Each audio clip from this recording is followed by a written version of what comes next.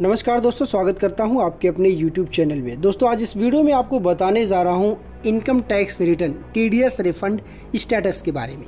दोस्तों, अगर आपने आईटीआर फ़ाइल कर दिया है, लेकिन अब तक आपका टीडीएस रिफंड नहीं आया है तो आप यह काम कीजिए, ऐसा काम करते ही आप ऑनलाइन सिर्फ़ सिंगल क्लिक में अपनी स्टेटस को जान सकते हैं, और इतना ही नहीं, आपका रिफंड तुरंत आपके खाते में आ सकता है। निवेदन करता हूँ, अगर आप चैनल पर नए हैं तो चैनल को ज़रूर सब्सक्राइब कीजिए और घंटी का बटन दबाकर ऑल नोटिफिकेशन पे ज़रूर क्लिक कीजिए, ताकि फाइनेंस से जुड़ी हुई सारी जानकारी आपको यहीं पर मिल जाए। दोस्तों, वीडियो को शुरू करते हैं। आईटीआर फ़ाइल करने के 15 से 20 दिन के अंदर आमतौर पर टीडीएस रिफंड मिल जाता है।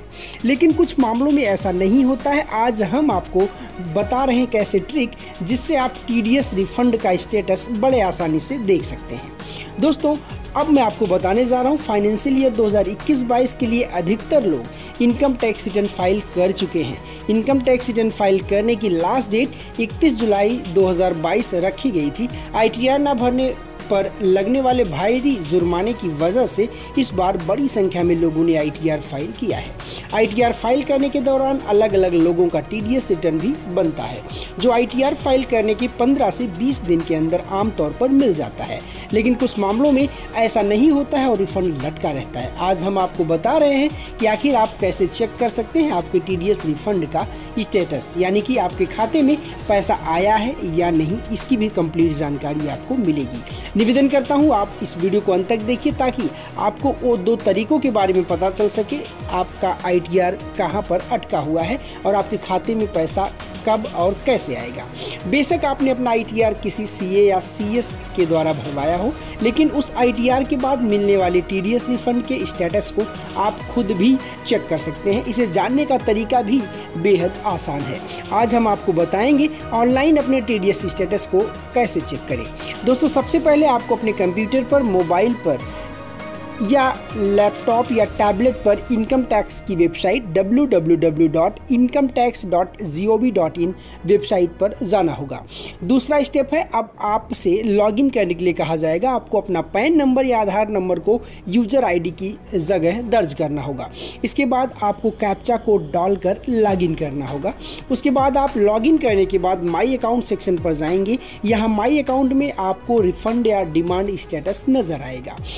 दोस्तों, आपको रिफंड या डिमांड स्टेटस पर क्लिक करना है। इसके बाद आपके सामने असेसमेंट ईयर रिफंड फेल होने का कारण और पेमेंट मोड की जानकारी दिखेगी। अगला स्टेप है, अब आपके सामने आपके रिफंड का स्टेटस बिल्कुल साफ़ तौर से झलकता हुआ दिखेगा। दोस्तों, उम्मीद करता हूँ आपका आईटीआर या टीडीएस आ गया हो। अगर नहीं आया है तो आप कमेंट सेक्शन में अपनी नोटिस को दिखा सकते हैं, उसके बाबत में कंप्लीट जानकारी आपको दे सकता हूँ, या जितना मेरी से मदद हो सकता है, मैं आपको उस नोटिस का जवाब देने का कोशिश कर सकता हूँ। दोस्तों, दूसरा जो स्टेप है, बेहद आसान और बहुत अच्छा है। तो इस स्टेटस को भी आप ज़रूर देखिए। अगर आप किसी वजह से ऊपर बताए गए, जो भी मैंने तरीके बताए हैं अपने टी डी रिफंड का स्टेटस नहीं चेक कर पा रहे हैं तो आप इस दूसरे तरीके को आजमा सकते हैं। सबसे पहले आपको T I N TIN dot slash refund status पर विज़िट करना होगा। हालाँकि दोस्तों, घबराइए मत, इन दोनों वेबसाइटों का लिंक मैं डिस्क्रिप्शन में दे देता हूँ। इसके बाद आप स्क्रीन पर नज़र आने वाले बॉटम एरिया में जाकर पैन नंबर और असेसमेंट ईयर को भर देंगे। उसके बाद ऊपर की दोनों चीज़ों को डालने के बाद आपको कैप्चा कोड भरना होगा। इसे भर कर प्रोसीड पर क्लिक करते ही सिंगल क्लिक करते ही आपको टीडीएस रिफंड का स्टेटस तुरंत स्क्रीन पर पता चल जाएगा।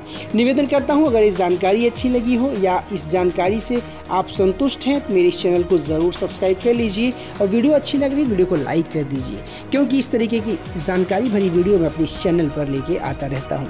वीडियो को अंत तक देखने के लिए बहुत बहुत शुक्रिया। धन्यवाद। जय हिंद। वंदे मातरम।